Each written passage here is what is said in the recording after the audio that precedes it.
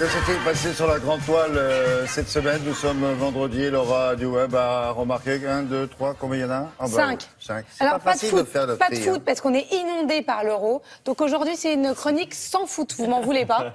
C'est Non, tout ce non, que. mais alors, non, non. Non, on va mais c'est l'annuler, pas grave, alors. on continue quand même. Non, ça bouillonne évidemment, on, ne parle quasiment euh, que de ça, mais il y a d'autres choses qui se passent. Mm. Et notamment, je voulais vous parler d'un site que tout le monde connaît qui s'appelle Airbnb, qui vous Mm-hmm. permet d'aller dormir chez l'habitant et qui rivalise de bonnes idées. On va proposer à nos clients d'aller dormir dans des endroits insolites. Certains ont eu la chance de dormir dans le grand aquarium de Paris. Parmi les requins, ils avaient recréé une chambre, bien sûr protégée, mais vous pouviez passer la nuit dans l'aquarium de Paris.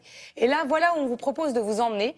C'est suite à la sortie du nouveau Disney qui s'appelle Le Monde de Dory, la suite du monde de Nemo, vous allez pouvoir dormir sur la grande barrière de corail.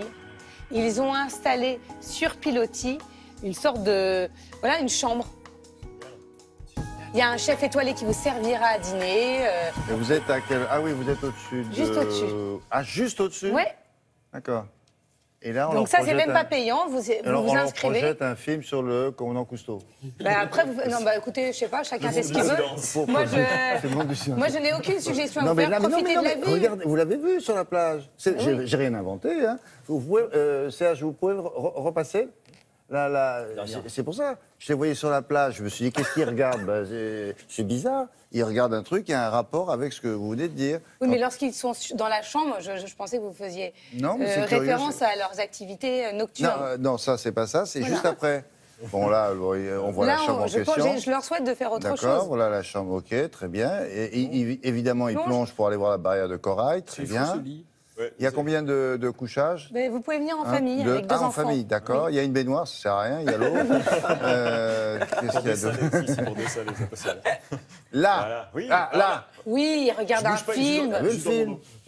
Ça, c'est une fois qu'ils sont revenus. Ils sont sur la plage. Ils ont- voilà, c'est. le. Et qu'est-ce qu'ils voient bah, ils regardent un film sur le- la pêche sous-marine pour les dépayser un peu. Qu'est-ce qu'on a d'autre On, on continue, on part en Pologne, dans la Venise polonaise qui s'appelle Wrocław, et ils ont une idée ingénieuse, c'est mettre à profit les escaliers pour que les passants puissent se reposer, regarder. Et donc ils ont créé non, des, des transats qui s'adaptent aux marches des escaliers. Ah, c'est bien ça. C'est pas mal pour faire la, la sieste. Mais ils ont, ils ont créé un, un Un, modèle. système, et, euh, voilà, ils ont créé un Ils système. devraient le vendre, ce truc. Mais on mal. pourrait faire ça euh, à Paris également. Il y a, il y a Ben plus- si, on enfin, descend entre les, les transats. Il y a Au moins, qu'à mettre un, petit coussin, puis voilà. Voilà. Pas mal. Vous venez avec des petits coussins. euh, On retient l'idée. Ensuite, parmi les, les innovations, parce que la toile est une mine d'or pour ça. Ouais. Et donc, on a découvert un avatar euh, d'un député des Français à l'étranger, Frédéric Lefebvre, qui a son propre avatar. avatar. Ben, un avatar, c'est en fait vous, William, sauf que ce n'est pas vous. C'est-à-dire que c'est un personnage numérique 3D. Et là, il on le voit sur la vidéo en train de jouer au tennis à Roland Garros, comme si c'était un, un champion. Et Voilà. le- Et il donc, ce évidemment, ce n'est pas Frédéric Lefebvre qui joue comme ça, c'est son avatar. Alors, c'est très, très inquiétant. C'est-à-dire que demain, on pourrait faire un télématin uniquement avec des avatars. Mm. Moi, ça ne me plaît pas du tout. C'est très bien, laissons ça aux politiques aux députés, mais, surtout pas aux animateurs la- la- de, la- télé. euh, au moment des primaires, avec chacun son, son avatar, c'est génial ça. Comme ça, ils peuvent parler dans plein d'émissions différentes, vous imaginez Bon, Vous pouvez être sur toutes les chaînes. Ensuite, alors ça, c'est un vrai coup de cœur. J'ai trouvé que l'idée était assez bonne. C'est le magazine Vanity Fair qui a créé un générique de film en notant tous les salaires euh, des techniciens, des réalisateurs. Donc quand on sait, les chiffres correspondent, comment est réparti 200 millions de dollars, prix d'un blockbuster, et voilà tous les salaires en fonction de votre casquette, Et- si vous êtes les- preneur de son et- ou, et les ou acteurs producteur. Il y a tout. Mais le, le- par exemple, le, le preneur de son va avoir euh, 73 000 dollars sur les 200 millions, tandis Non, mais ce que... qui est intéressant, c'est 73 000 dollars par rapport à l'acteur principal, c'est ça qui 12 est 500 Ah bah oui. pour le rôle, euh, 12 millions pour le rôle masculin, C'est 4 dans millions quoi, ça 5 pour le rôle féminin. C'est sur le le. Vanity Fair américain. D'accord. Et on termine avec une bonne initiative euh, qui vient de l'ADAP, qui est une association spécialisée dans l'insertion sociale et professionnelle des personnes en situation de handicap. Comment les drones peuvent aider justement les personnes handicapées à retrouver des sensations?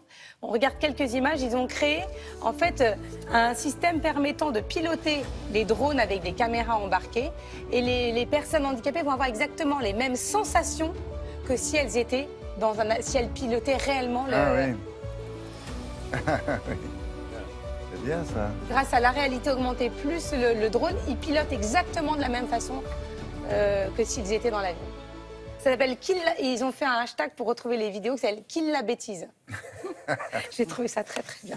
Merci, Laura. Avec. euh,